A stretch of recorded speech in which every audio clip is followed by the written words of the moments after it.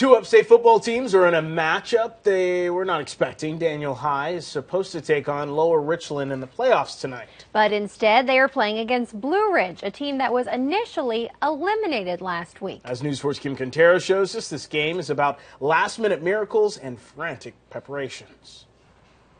Outside Blue Ridge High School Friday morning, the sign said it all. You know, we're back because we are. We're back and we get the opportunity to go and play tonight. And the community is just ecstatic.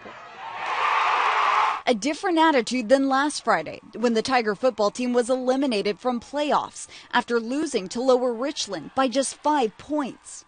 So it was very disappointing, very heartbreaking. But on Thursday, athletic directors found out a player on Lower Richland's team was ineligible, so Lower Richland forfeited their win. As of 4:15 that afternoon, Blue Ridge was back. 24 hours later, they take on a team ranked number 1 in their region, Daniel High. It's a second chance, you know. When God gives you a second chance, you don't say no. From classroom meetings, I'm not impressed with them, with them at all. Hurry up now. Let's go. He's going to make one cut and he's gone. To drills on the field. Push. There. Ball, ball, ball. A week's worth of practice crammed into a matter of hours.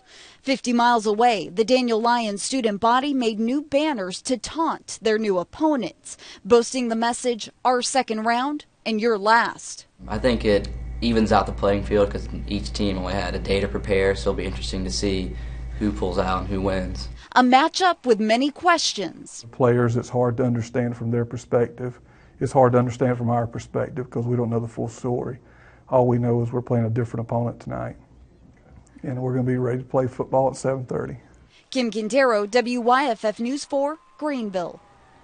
And if you're going to the game, it is at Daniel High. And here's a heads up traffic is expected to be heavy due to Clemson's homecoming fest.